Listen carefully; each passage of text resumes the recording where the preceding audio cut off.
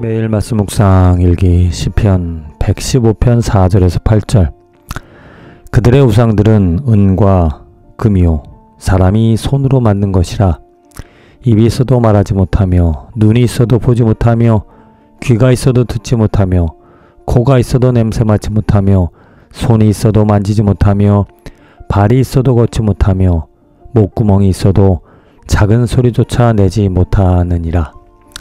우상들을 만드는 자들과 그것을 의지하는 자들이 다 그와 같으리로다. 한마디로 우상, 은과 금, 사람의 손으로 만든 그 자체는 능력, 어빌리리, 할수 있는, 할 수 있는 일이 뭐가 있는가? 아무것도 없다. 물론 입이 있어서 말하지만 우상들이 입이 있어도 말하지 못한다라는 시편 기자의 의미는 무엇을 말하지 못하고 무엇을 보지 못하고 무엇을 듣지 못하고 무엇을 냄새 맡지 못하고 무엇을 만지지 못하고 무엇을 걷지 못 아, 행하지 못하고 또 무슨 소리조차 내지 못하는가 바로 육적인 것이 아니라 영적인 것. 그 영적인 것은 하나님의 것, 하나님의 뜻, 하나님의 영광, 하나님 자체.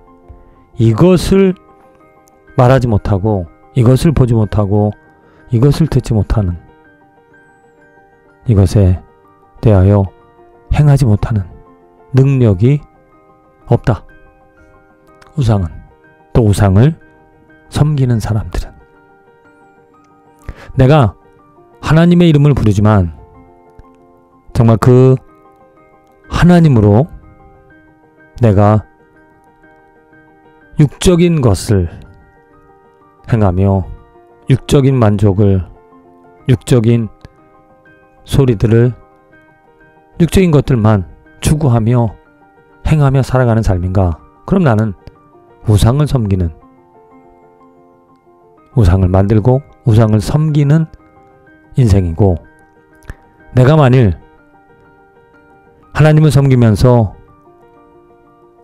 하나님에 대하여 말할 수 있고 보이지 않는 하나님을 볼 수 있고 보이지 않는 하나님의 손길을 헤아릴 수가 있고 또 보이지 않는 하나님의 음성을 들으면서 또 그리스도의 향기를 맡으면서 그리스도처럼 행하며 살아가는 그러한 삶이라면 그게 바로 참 신앙, 참 믿음을 가지고 살아가는 삶이다. 그래서 신앙인이라면 우상을 섬기는 사람들과는 달리 보이지 않는 것을 말할 수 있어야 된다. 보이지 않는 것을 볼 수 있어야 하고 보이진 않지만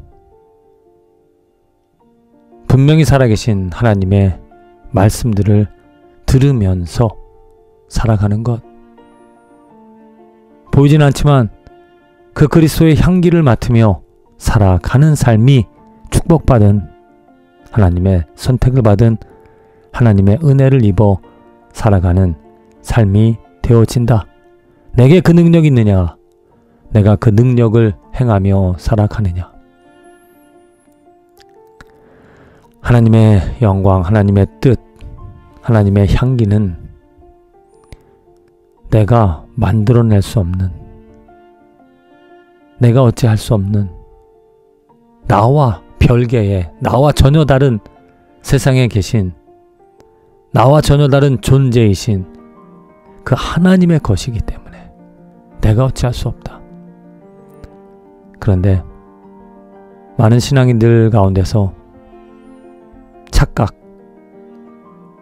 하나님이라는 이름으로 우상을 만들어서 그 우상이 나에게 어떠한 일들을 일으켜주고 그러니까 육적인, 물질적인 그런 만족과 또 이 세상에서 누릴 수 있는 것들을 채워주고 공급해주는 그러한 우상의 어떤 능력을 기뻐하며 우상의 능력으로 살아가는 사람들이 많이 있다. 분명하게 시편 기자는 그들과 우상을 섬기는 사람들과 하나님의 자녀들, 하나님을 섬기는 사람들의 분명한 차이를 말하고 있다. 하나님을 섬기는 사람들, 우상이 아닌 하나님을 찾는 하나님의 선택을 받은 하나님의 은혜를 입은 사람들은 보이지 않는 하나님을 보면서 만질 수 없는 하나님을 만지면서 하나님의 이름을 하나님의 뜻을 밝히 말하며 열심히 행하며 살아가는 그 삶이 믿음을 가진 하나님의 선택을 받은 사람들의 살아가는 모습이 되어진다. 그러기 때문에 육적인 것을 쫓아 우상인 우상을 만들어 우상을 섬기며 살아가는 사람들의 인생은 헛되다. 헛되고 헛되니 모든 것이 헛되도다. 왜? 남는 것이 없기 때문에 우상이 영원히 존재할 수 없는 것처럼 또 우상이 불로 태워져 다